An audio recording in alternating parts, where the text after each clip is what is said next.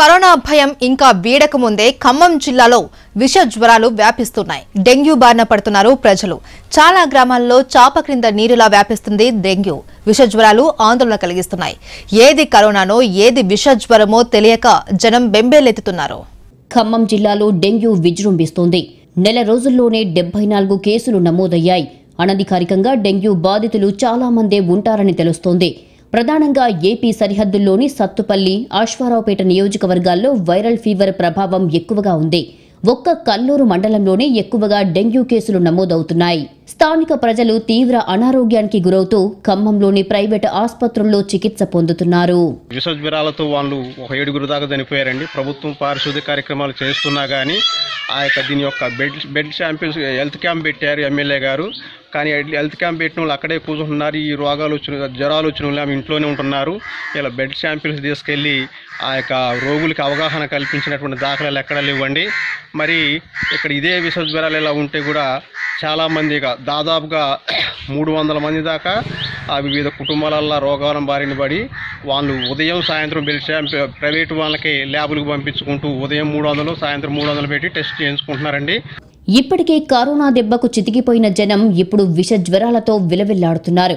ఆసుపత్రుల్లో వైద్యం చేయించుకోలేక ఆర్థికంగా చితికిపోతున్నామని ఆవేదన వ్యక్తం చేస్తున్నారు. వైద్య ఆరోగ్య శాఖ అధికారులు సీజనల్ వ్యాధులను అరికట్టడంలో విఫలమయ్యారనే విమర్శలు వినిపిస్తున్నాయి. ప్రాథమిక ఆరోగ్య కేంద్రానికి వెళ్ళినా కరోనా నిర్ధారణ పరీక్షలు తప్ప విష జ్వరాలను గుర్తించే పరీక్షలు చేయటం లేదని చెబుతున్నారు.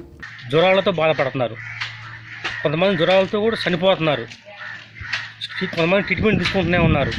వాళ్ళ చేతనైన దాంట్లో వాళ్ళు చేసుకుంటూనే ఉన్నారు. ప్రభుత్వ సహకారం చెప్పైనా కానీ వాళ్ళు వైద్యం చేసుకుంటూనే ఉన్నారు. గవర్నమెంట్ హాస్పిటల్లోకి వెళ్తే ఒక కరోనాకి తప్ప డెంగ్యూకి ట్రీట్మెంట్ చేయట్లేదు. ఆ డెంగ్యూ అని కూడా వాళ్ళు నిర్ధారించట్లేదు. డెంగ్యూ కాదని మాకు మమ్మల్ని అదర అదరగొడుతున్నారు అయితే అధికారుల వర్షన్ మాత్రం వేరేలా ఉంది. విష జ్వరాలతో ఆసుపత్రికి వస్తున్న వారికి చికిత్స అందిస్తున్నామని చెబుతున్నారు. ఎప్పటికప్పుడు అప్రమత్తంగానే ఉన్నామంటున్నారు.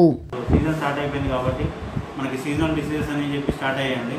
సో అందరూ ప్రజలు ఏంటంటే కోరుకుంటున్నాయి ప్రజలు కోరుకుంటున్నారంటే ఇంటి పరిసరాలు ఖచ్చితంగా శుభ్రంగా ఉంచుకోండి.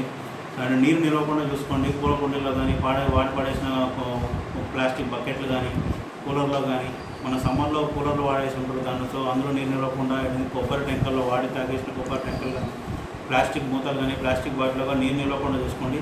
అటువంటి నీరులోనే దోమలు అనేది డెంగ్యూ దోమలు అనేది గుడ్లు పెడుతుంటుంది గుడ్లు పెట్టేసి సో ఆ గుడ్లు వృద్ధి చెంది ఖచ్చితంగా డెంగ్యూ దోమలు అనేది స్టార్ట్ అవుతుంది వృద్ధి చెందుతుంటాయి.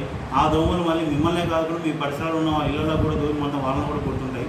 సో దట్ ఏంటంటే మెయిన్ అది కారణం డెంగ్యూ ఫీవర్స్ రావడానికి అది కారణం అండి.